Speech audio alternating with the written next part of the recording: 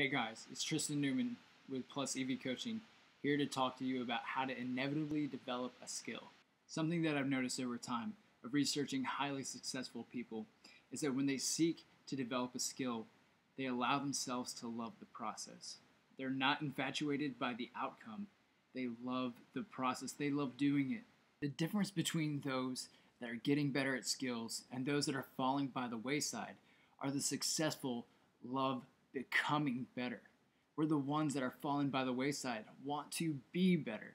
Being better will come, but becoming better is what you need to fall in love with to get better at a skill. Something you might ask yourself is how do I learn to love the process? Because the process is difficult and it's hard, and I just want the outcome.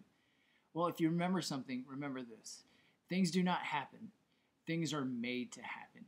You have to put in the work to get what you want. And if you love to do put in the work, if you love to get better at it, then it will happen. No one wakes up and the thing has happened. The skill is developed. The skill was made to happen. The skill was made to be developed. They don't wake up tomorrow and it's there. They don't wake up in a couple days. They wake up in a matter of months, maybe years, maybe even decades.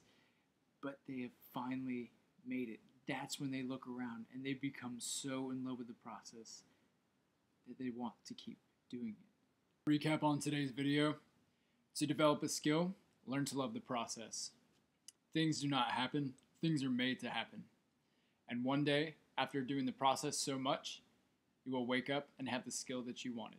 If you have any questions, comments, or feedback, check us out on Twitter, Facebook, YouTube, and our website, plusevcoaching.com. Until then, see you next time.